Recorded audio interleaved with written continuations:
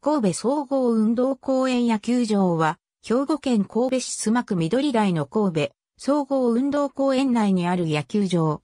施設は神戸市が所有し、運営管理は当野球場を準本拠地とするオリックスバファローズの運営法人、オリックス野球クラブが都市公園法に基づく管理許可制度により行っている。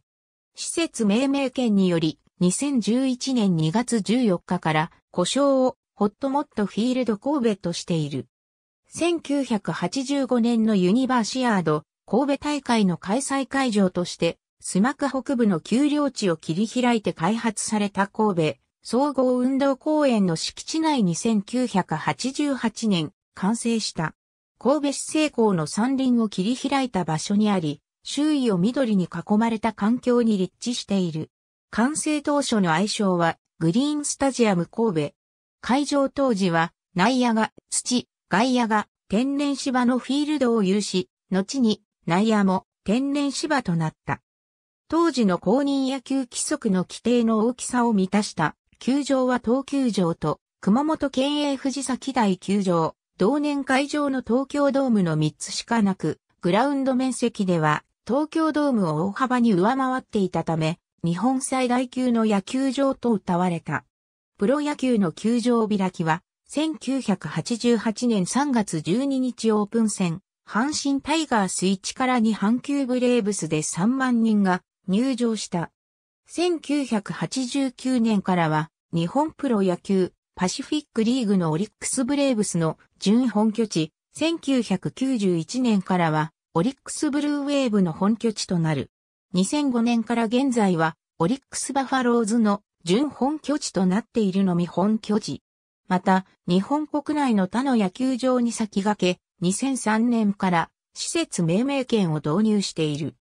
丘陵地に造成したスタジアムであるため、スタンドへの出入りは手荷物検査のゲートを抜けた後一旦スロープを登り、内野、外野ともに最上段からフィールドに向かって降りる形になっている。フィールドに近い座席に向かうためには、上段から降りる形となっているのは、同じく丘陵地に立つ西武ドームと同じ構造である。開放的な設計で、グラウンド全体が見渡しやすい客席、美しい総天然芝のグラウンドを備えており、広告も少なく、好きな球場ランキングで何度も1位に輝いている。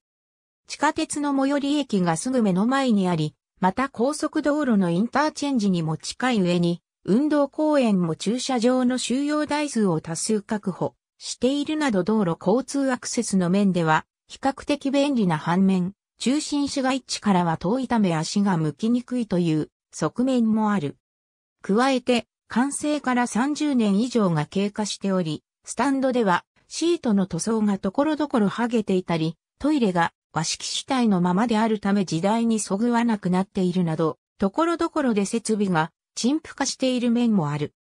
現在はオリックスの公式戦では、ナイターのうち一部の試合で花火ナイトとして5回裏終了後のグラウンド整備中に花火を打ち上げているほか、年に一度土曜日デーゲームの試合終了後にグラウンドに観客を入れて大規模な花火大会を実施するなど屋内球場である大阪ドームや住宅地のそばにある甲子園球場ではできないイベントを行っている。阪急、オリックス当時、阪急ブレーブスだった1988年は南海ホークスとの公式戦が1試合のみ開催された。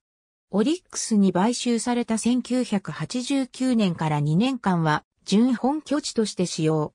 同年シーズンは福岡大英ホークス戦の全13試合と他3試合の日程を東球場で編成した。1990年は大英戦を中心にその他4球団とのカードも編成して13試合を開催した。主な対戦相手が大英になったのは1988年秋に三和銀行による仲介で南海ホークスが大英に買収された際に大英側が東球場に本拠地を移転させる構想があったためである。これは、大英の経営者だった中内が、神戸市出身であり、生まれ故郷に恩返しをしたいという強い意向があったことによるものであるが、兵庫県を保護地域とする阪神とオリックスの2球団から承諾を得ることができず、断念した経緯にオリックス側が配慮したためである。1991年からオリックスはすでに老朽化が進んでおり、観客動員数が伸び悩んでいた阪急、西宮球場から完全に転し、球団愛称もブレーブスからブルーウェーブに改称した。1994年に、イチローが日本プロ野球史上初のシーズン200安打を達成。続く1995年からは、阪神、淡路大震災からの復興を願い、頑張ろう、神戸をスローガンに掲げたオリックスが、パリーグに連覇を成し遂げ、1996年には日本一に輝いた。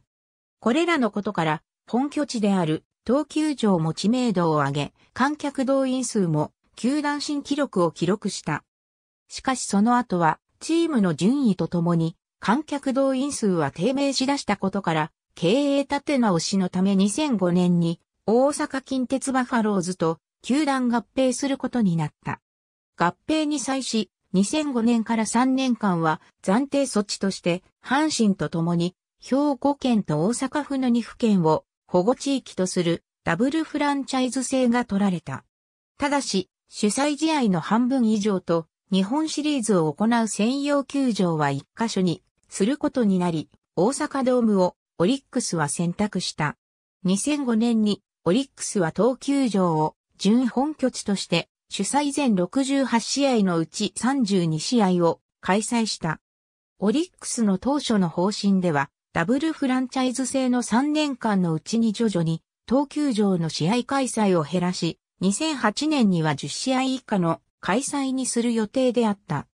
だが、2005年10月に大阪ドームを運営する第3セクター大阪シティドームが会社構成法を申請し、事実上経営破綻したため、2006年は当球場を専用球場に変更。野球協約ギリギリの数である主催試合の半分、34試合を当球場で開催した。これはシリーズ期間中に大阪ドームを確保できない可能性があることを考慮しての措置である。その後大阪シティドームの会社更生手続きが進捗し、大阪ドームの施設はオリックスグループ傘下のオリックスリアルエステートが買収することになり、2007年は専用球場を大阪ドームに戻し、東球場での開催が22試合にまで削減された。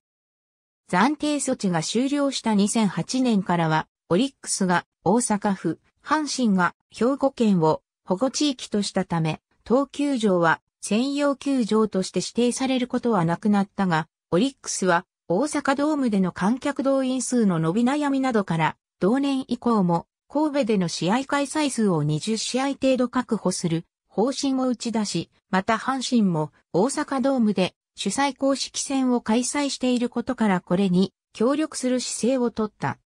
両球団は2008年以降、試合日程や開催数などについて折衝を行った上で書面による同意を交わしている。オリックスは2008年から2010年は22試合を当球場での開催としたが、2009年と2010年は1試合が雨天中止となり大阪ドームでのゲームに振り返られている。2011年からは大阪ドームでの試合数を強化する方針から、これまで必ず行われていた阪神戦と巨人戦が削減されて15試合にまで削減された。2012年以降も引き続き15試合が実施されているが、雨天中止となった場合の代替開催は従来通り大阪ドームに振り返られている。なお、オリックス球団は東球場の準本拠地降格以降も引き続き、都市公園法の管理許可制度の下で運営管理業務を行っており、2016年まで一軍の試合がない日の練習は、主に東球場で行っていた。また、ブルーウェーブ時代に置いていた、球団事務所は機能の大半を大阪市に移したものの、2016年までは選手寮が近くにあったこともあり契約公開などで利用されていた。一方、2017年においては、試合数は前年までと変わらず15試合が実施されたが、週末の開催は大幅に削減され土曜日の2試合のみとなった。2018年は週末の開催が再び増やされたものの試合数は13試合に削減され、2019年はさらに削減され11試合とされた。2020年は新型コロナウイルス感染予防対策の影響で開幕が6月までずれ込み、さらに開幕後も長距離移動削減の一環で日程の大幅変更が行われさらに数を減らし3試合が開催された。オリックスが本拠としていた時代には、週末に1軍のデーゲームの試合を終えた後、2軍の試合を白母開催する親子ダブルヘッダーをしたことが多数あった。ナイトゲームで行われる場合、原則として5回の攻撃終了後に花火大会、花火ナイトが実施され、通常300発の花火が打ち上がる。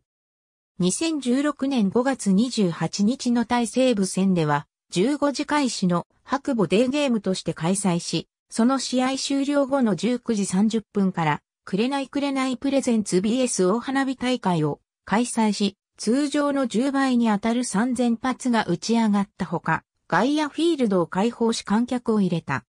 2017年も前年同様、プロ野球公式戦試合終了後に大花火大会を6月24日と7月8日に開催。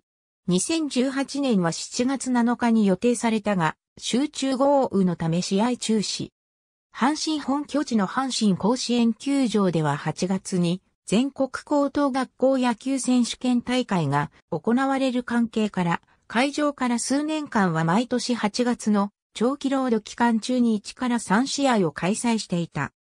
1994年まで行われたが、当時はオリックスの本拠地であったこともありその後の2年間は、阪急西宮スタジアムで、また1997年以降は新たに開場した大阪ドームでそれぞれ開催しており、2007年まで主催試合は開催されなかった。しかしオリックスの大阪ドームへの本拠地一本化の方針を受け、兵庫県と神戸市はバファローズ一辺倒というわけにはいかないとして他球団の主催試合誘致を検討し、その一環として、阪神に対し、スカイマークスタジアムで年間数試合の公式戦を開催してほしいとする要望書を2006年に提出した。阪神、牧田球団社長もこれに協力する意向を明らかにした。折しも甲子園球場は2007年オフから3期にわたって改修工事が予定されており、各年2009年の10月1日から翌年3月中旬まで甲子園が使用できなくなることから、阪神は同月以降の主催試合を東球場で大体開催すべく、市と交渉を行い、その結果第一期工事が開始される2007年10月以降に行われる公式戦の雨天順延分とクライマックスシリーズさらに翌2008年シーズン前の春季非公式、試合の一部が東球場で行われることが決まった。これに先立ち、2007年にもオープン戦の対、日本ハム戦が行われた以来17年ぶり。ただ、同年シーズン終盤に、オリックスの3位以下が早々に確定したため、雨天順延を避けるために、セリーグと阪神は CS 第1ステージの主催球場を京セラドーム大阪に変更した。結局阪神はリーグ3位となり、主催公式戦も9月29日に全日程を終了したため、公式戦で使用されることはなかった。オープン戦は2008年にも予定通り開催された。第2期工事期間中に関しては、雨天順延分とオープン戦での使用は決まったものの、2008年の CES は京セラドーム大阪を優先することになった。オリックスが優勝した場合のみ、パの CS 第2ステージの日程に、セの CS 第1ステージの全部及び CS 第2ステージの一部の日程が重なるため、京セラドームの優先権がオリックスにあることから、重なる日程の店の CS を東球場で開催される可能性もあったが、オリックスは2位だったため日程に影響はなく東球場では行われなかった。2008年9月30日に甲子園で行われる予定だった阪神主催最終戦の対中日戦が雨天中止となり、同年10月12日に代替試合が東球場で行われた。第3期工事期間中に関しては、工事予定の変更で、甲子園での開催が可能になったため、2009年の公式戦の開催はなかった。2010年9月7日8日の2日間、2年ぶりに公式戦が開催された。2011年は5月10日に広島戦が予定されたが、雨天中止となった。2012年は4月17日にヤクルト戦が開催されたが、これをもって再び撤退しており、2013年以降はオープン戦も含めて開催実績はない。巨人2007年に読売ジャイアンツ主催公式戦が行われた。かつては兵庫県明石市で春季キャンプを行っていた巨人が兵庫県内で主催公式戦を行うのは1952年にプロ野球にフランチャイズ制度が制定されてからは初めてのことであった。2013年も1試合を開催した。2020年には新型コロナウイルス感染防止対策による長距離移動削減のため7月10日からヤクルトとの3連戦が行われた。楽天2011年は東北楽天ゴールデンイーグルスが東日本大震災の影響で本拠地球場である宮城球場での開催が4月28日までできなくなったため4月22から24日の主催公式戦が東球場で大体開催された。ただ、当初宮城ではデーゲームとして予定されていたが、大学野球の日程と重なったため3日間とも18時30分開始のナイターとなった。2012年は練習試合対西武戦で、2013年はオープン戦対ロッテでそれぞれ使用したが、2014年以降は開催していない。なお、オーナーである三木谷博士は神戸市出身であり、すでに保有しているサッカーチームビッセル神戸の地元という縁もあったため、2004年に発生したプロ野球再編問題では本球場を本拠地にする意向を持っていた。ヤクルト2014年3月13日に東京ヤクルトスワローズ主催のオープン戦を1試合開催予定だったが、高宇中止となった。オールスターゲーム1988年3月6日に開場してからオールスターゲームが開催されたのは1993年の第2戦と2000年の第2戦の2回だけで2001年以降は開催されていない。2009年に発足した関西独立リーグの神戸、旧クルーズが初年度より本拠地球場として使用していた。なお、後日のサブグラウンドでも公式戦を実施していた。また、2010年に発足した日本女子プロ野球機構の愛知ディオーネも2017年までは兵庫ディオーネを名乗っており、当時は本球場を本拠地の一つとしていた。全国高等学校野球選手権兵庫大会や関西六大学野球連盟、関西学生野球連盟などの一部の試合が行われる。1989年に神戸市政100年を記念して全日本大学野球選手権大会が開催された。1991年から1996年までは社会人野球日本選手権大会も開催されていた。2006年には世界身体障害者野球大会が開催された。近隣により適した会場が多いため、野球以外の大規模イベントの開催は少ない。コンサートコンサートは2012年、2013年にニュースが、2014年にポルノグラフィティが、2017年にはソルが開催している。2016年には前年まで阪神甲子園球場で25年連続してコンサートを行っていたチューブが東球場に場所を移して開催した。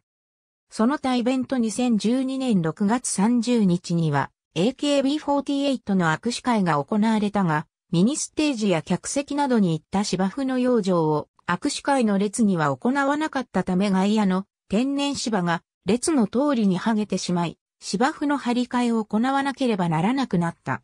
そのため、翌7月14日15日のオリックスバファローズ対埼玉西武ライオンズ戦では、芝生が剥げたままの状態で試合が行われた。2015年7月11日12日には、スクラップ主催の体感型謎解きイベントである、リアル脱出ゲーム、ワンピース、頂上戦争からの脱出神戸公演が行われた。他に山間部の立地であることを活かして、ナイターの試合終了後にフィールドを開放して、テントを張って、家族でキャンプができるイベントなども実施された。東球場が1988年に竣工した当初、愛称としてグリーンスタジアム神戸、通称名として神戸球場がそれぞれ命名され、メインスタンドにそれぞれ名板が取り付けられた。また新聞、テレビなどのマスメディアでは、グリーンスタジアムをイニシャル化した GS 神戸という略称表記が用いられていた。当時、野球場に愛称を命名する例は、北海道旭川市のスタルヒン球場など、まだ数少なかった。しかし当球場を所有する神戸市は2002年9月、財政難による収支不足と球場施設の運営、維持管理費用を賄うことを目的に、日本の野球場として初めて施設命名権を導入する方針を固め、2003年3月7日から3月14日までの間、売却先の公募を実施。その結果ソフトバンク一社のみが応募し、市の審査を経て、スポンサー企業に決定した。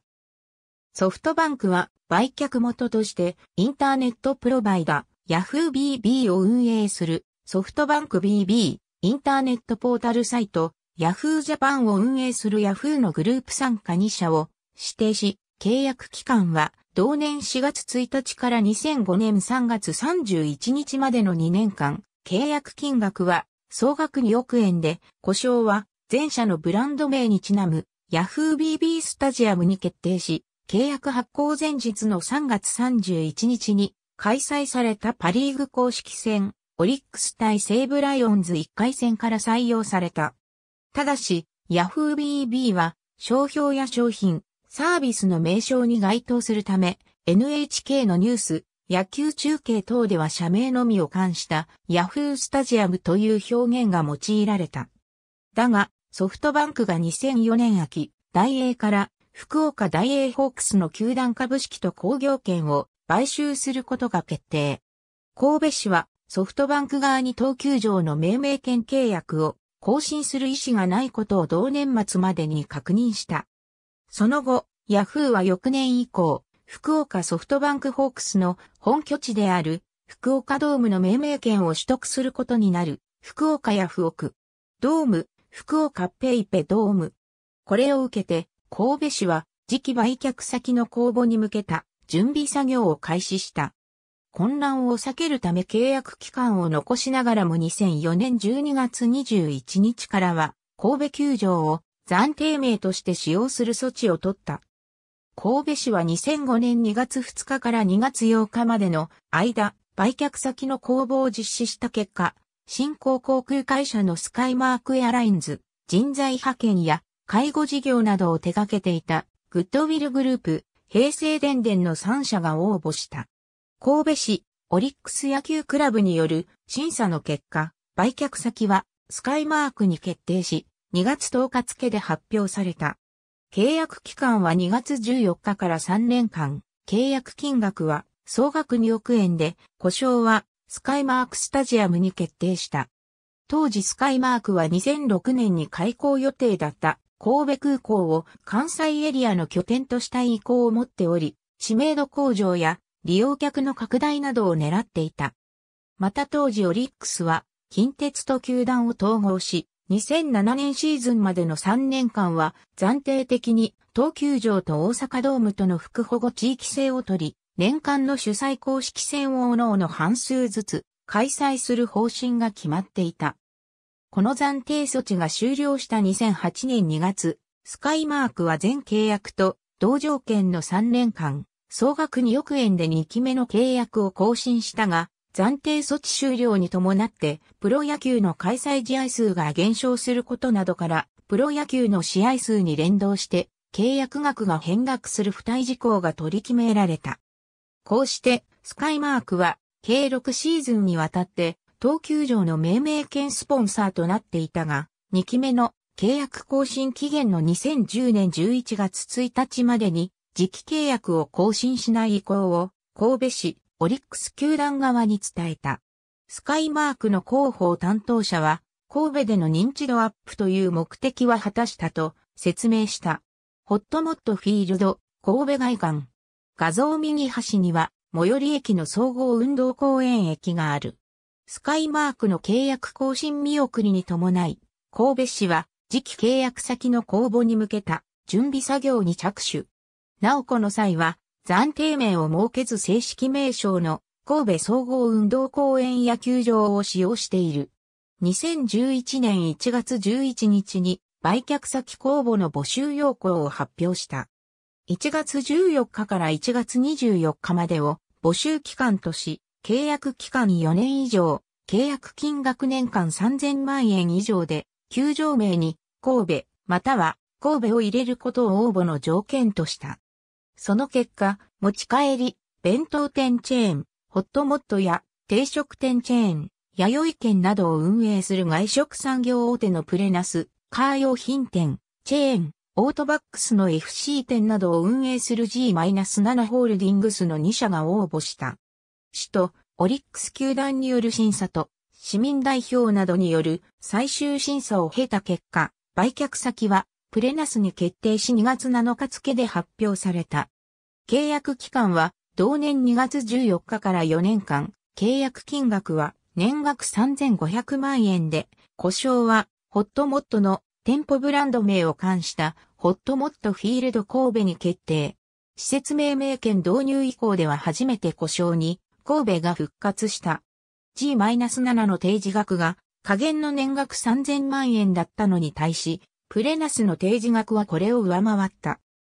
同社コミュニケーション室の広報担当者は、総天然芝の美しい景観を持つ球場をフィールドと表現し、神戸市民にとってほっとする場所、熱く盛り上がれる場所となれるよう願って命名しましたと、故障のコンセプトを説明し、オリックス球団との共同企画についても、具体的なことはまだ考えていませんが、いろんな可能性を検討していきたいと思いますと、意向を示した。2015年には契約を4年間で更新したが、契約金額については未公表である。その後2019年に契約を4年間更新。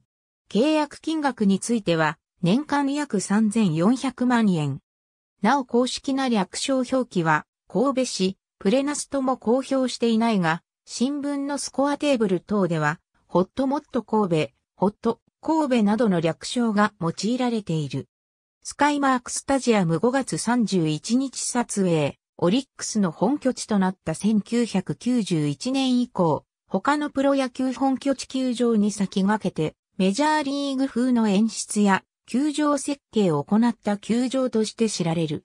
1991年には日本のプロスポーツ界で初めてウグイス城ではなくスタジアム DJ を導入。初代は DJ 木村が担当し、オリックス球団職員だった大前和樹と共にスタジアム DJ のスタイルを作り上げた。1999年から球場長をはじめ、オリックス球団関係者が何度もアメリカの球場を視察し、メジャーの球場を手本にしたボールパーク構想を打ち出した。この取り組みは後に高く評価され、日本の球場設計や野球ファンの意識にも大きな影響を与えることになった。まず、2000年に第一弾の改装が行われ、アメリカの球場のように内野にも天然芝が張られた。また、スタンドの分煙化とホームランイリュージョンと称した演出を開始。これは、ブルーウェーブの選手がホームランを放つと、バックスクリーンから炎が立ち上る演出である。さらに2001年、スコアボード左側をフリーボードに変更し、内野1階席の椅子を外野席と同じ新緑色に統一。内野の金網フェンスの高さを1メートル80センチメートルから80センチメートルに変更し、ファンにグラブ持参を呼びかけるキャンペーンを実施した。2002年には、球場の管理運営権が神戸市からオリックス球団に移譲された。球場内の売店をリニューアルし、アメリカ直輸入のホットドッグ、イタリアや中国料理の専門店などがオープンした。2003年には最大規模となる総工費約3億3000万円をかけた改装が行われ、内野の国土部分とファウルゾーンの人工芝部分がすべてアンツーカーをベースにした赤土で統一された。内野2階席の椅子を外野席、内野1階席と同じ新緑色に統一。外野スタンドの金網フェンスも2メートル15センチメートルから1メートル40センチメートルに引き下げた。また、日本の野球場としては、初めての試みとして、約600席のフィールドシートをもともとブルペンがあった、ダックアウトの隣に設置した。危険防止のため、可動式の透明アクリルカバーが全席に設けられている。このカバーは当初取り付け予定にはなかったが、球場内で起きた事故は、球団の責任となるため急遽設置された。フィールドシート設置にあたって、球団職員の田中光一が設計、施行に参加した。フィールドシートの命名も彼により考えられ、現在は他球場でも使用されている。この改修により、ファウルグラウンドは縮小され、ブルペンはファウルポール際に移設された。総合運動公園駅越しに、神戸総合運動公園野球場を望む、スコアボードスコアボードスコアボード一塁側のファウルポール際には、グラウンド搬入口が設けられており、グラウンド整備用の車両などが出入りする。そのため、搬入工場部にある1階席上段部の座席はやや床面が高くなっているが、この部分はバファローズ主催ゲームで使用する場合、ペプシファミリーゾーンとして家族で食事を楽しみながら試合を楽しめるようになっている。球場内ボランティアに年配者を多く配している。放送席の配置は一塁側から順に新設部分として関西テレビ、J スポーツ、毎日放送、朝日放送、NHK となっている。それ以外のつぼねが中継する場合は内野2階席に仮設の放送席を設けて対応する。外野スタンドの外側には総合運動公園の小さな丘の森があり、デーゲームで反対のバックネット側から見ると鮮やかな緑が美しく、天然芝の球場の美しさをより際立たせている。1995年のブルーウェーブの優勝がかかった対千葉ロッテマリーンズ戦、翌年1996年のリーグ優勝が決定した対日本ハムファイターズ戦では球場に入りきれない観客十数名が優勝の瞬間を見届けようと木によじ登ってまで観戦していた。バックネット裏のコンコースには元オリックス監督の扇明を記念したレリーフがあり、2005年に亡くなる直前にバファローズナインに宛てたメッセージと共に展示されている。2000年には内野にも天然芝が張られた。内外野ともに天然芝の球場はかつては阪急西宮球場や後楽園球場、東京スタジアムなどでも見られたが、現在のところ NPB 球団の本拠地では当球場とマツダ Zoom-Zoom スタジアム広島、宮城球場の3球場のみで、その他の日本のプロ野球開催の野球場としても、宮崎県総合運動公園公式野球場と鶴岡市小真木原野球場のみである。かつてはドーム化が計画されたこともあったが、当時、ブルーウェーブに在籍していたイチローが、グリーンスタジアムは日本一の球場と猛反対したこともあり断念した。イチローは、現役時代は MLB 移籍後も、オフシーズンの自主トレで本球場を使用していた。なお、オリックス主催試合においては、一塁側のウェーティングサークルには、球団ロゴマークがペインティングされているほか、一塁側ベンチ上段に、やはりオリックスの B ロゴが書かれた小さい幕が貼られている。なお、かつての阪神主催試合では、ペインティングはなされたが、2011年4月の楽天主催試合では、ペインティング等はされなかった東北の幕が掲げられた。イチローは1996年度以降、2004年度まで毎年神戸市の少年野球チームを一塁側カジュアルシートに招待するイチローシートを実施していた。1996年の設置当初は、阪神、淡路大震災の被災者に自分のプレーを間近で感じ取ってもらうことによって勇気と希望を提供したいという気持ちから設置してきたが、その後は地元神戸の少年野球選手たちに応援してもらった感謝の気持ち、そして野球を心の底から存分に楽しんでもらいたいということで、神戸市の少年野球チームを招待してきた。だが、2004年シーズン中に発覚した大阪近鉄バファローズとの合併計画で、自らの原点であるブルーウェーブが合併すること、そしてその名称が消滅することに自らが帰る、球団がなくなったとショックを覚えたこと、また試合数が大幅に減ってしまうことなどを考慮して、一郎シートは解消されている。1991年にオリックスが神戸に本拠地を移転した際、東球場北側に所在する神戸流通業務団地の西側敷地にサブグラウンドとして建設されたのが神戸総合運動公園サブ球場である。会場当初は東球場に習い、愛称をグリーンスタジアム神戸サブ球場としていたが、2003年に東球場に施設命名権が導入された際、サブ球場は売却の対象とならなかったことから、それ以降は現在に至るまで神戸市の条例上の施設名称をそのまま使用している。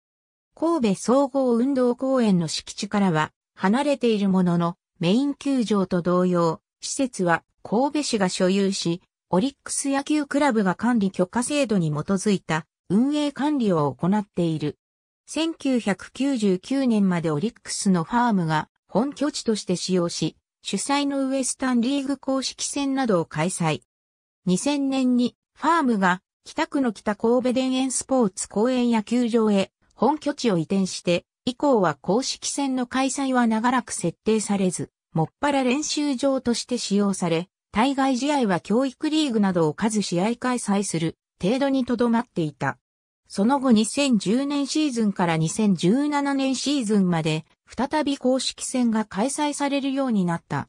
このほか、一軍も試合前の練習などで使用するケースがある。また、プロ野球のほか、アマチュア野球や一般利用などにも供用されている。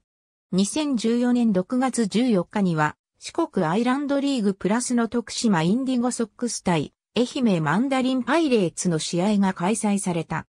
また、同年7月1日には、ベースボールチャレンジリーグの富山 GRN サンダーバーズとオリックス2軍の交流戦が当初日程が雨天中止となった振り替えとして実施されている。フィールドは1991年当時の投球場の規格を踏襲しており、ダッグアウトやブルペンなどの配置は当時のそれに類似している。会場当初は内野がクレー舗装、外野が天然芝、ファウルエリアが人工芝だったが、その後の改修で外野も人工芝に張り替えられた。なお人工芝は経年劣化のため2009年に住友ゴム工業製のロングパイル型ハイブリッドターフに張り替えられている。2010年オフに改修工事が行われ、スタンドを全面改修して、ベンチ席を増設したほか、磁気反転式とパネル式を併用していたスコアボードは、LED 方式に改修された。2017年8月1日より G-7 ホールディングスが命名権を取得したのに伴い名称が G7 スタジアム神戸に改められた。この頃、阪神タイガースの2軍本拠地の移転先候補として挙げられていたことがあった。1990年代半ばには、プロ野球公式戦開催時に、明石駅や井川谷駅から東球場への直行バスが、神戸市交通局により運行されていたことがあるほか、地下鉄では1996年まで昼間にも運行されていた、明谷駅電車を学園都市駅まで延長運行して観客輸送に当たっていた。命名権による名称ヤフー BB スタジアムに関するカテゴリー。ありがとうございます。